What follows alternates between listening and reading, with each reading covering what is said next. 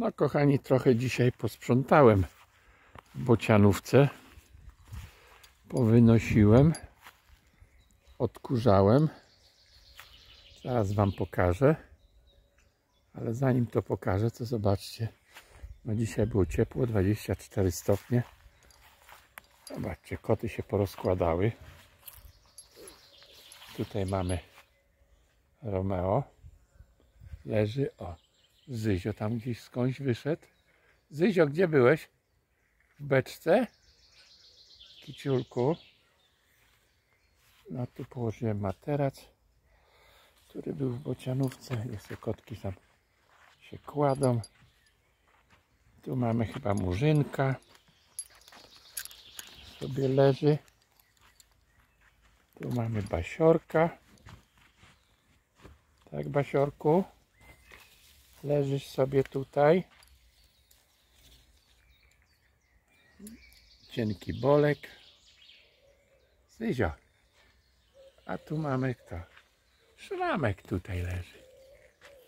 O, ale się porozkładały kicie. Zobaczcie. A tu mamy majeczkę. Majeczka się tu ułożyła. O, misieńka była bocianówce. Cały czas mi towarzyszyła.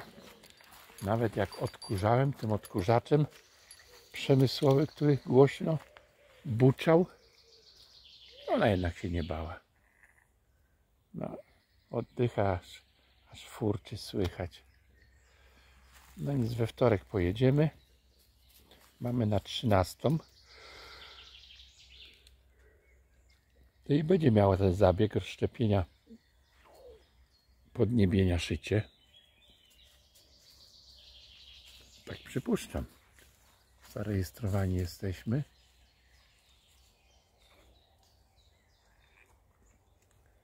No pani powiedziała, że około 600 zł będzie to kosztowało.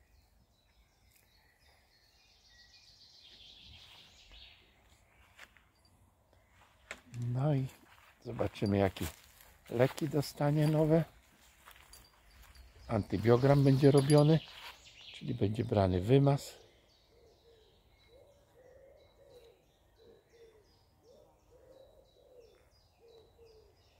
No to tak to wygląda, kochani.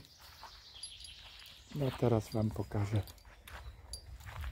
bocianówce. No jutro będę chciał powynosić te domki drewniane na zewnątrz, właśnie tam na te palety, żeby później a, zobaczcie Jonia, Jonia tam. Na górze była.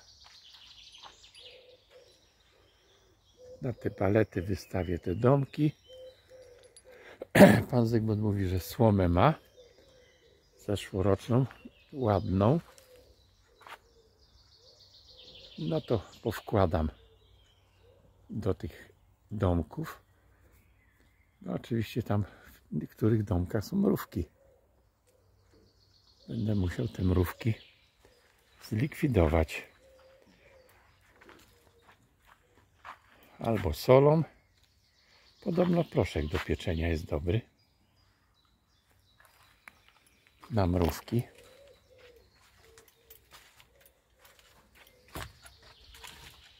Ktoś mi mówił też o jakimś środku, który jak się posypie, a to chyba na karaluchy był.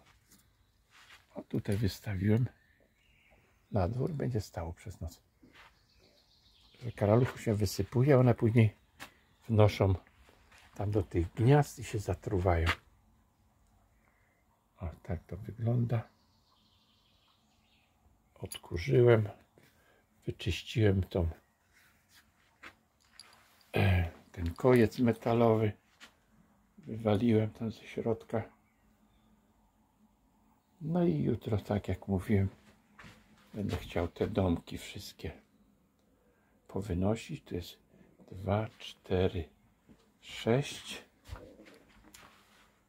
6, 8, 10, 12 domków tu jest.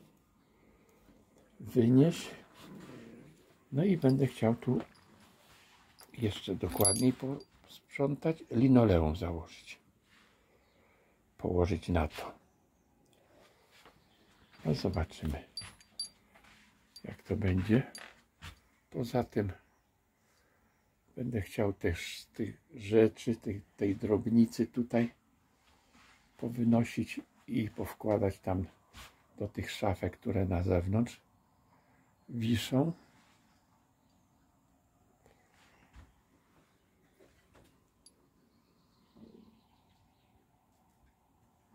Także no zmieni się.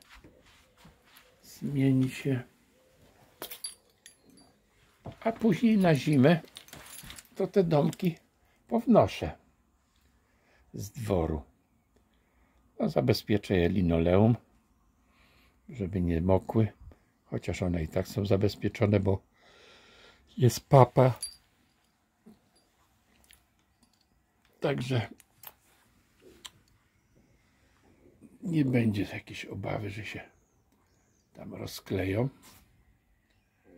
No muszę teraz jeszcze z panem Jankiem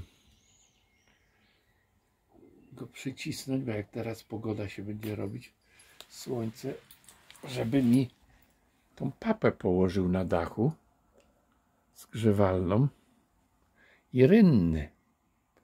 Z panem dyrektorem rozmawiałem, nie ma problemu. Butle z gazem dostanę, palnik też.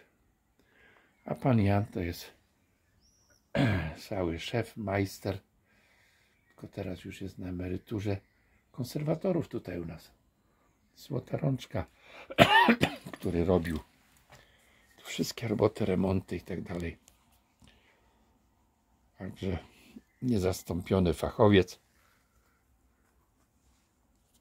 Teraz na emeryturze samo ma wzięcie cały czas fachowca. Ludzie potrzebują.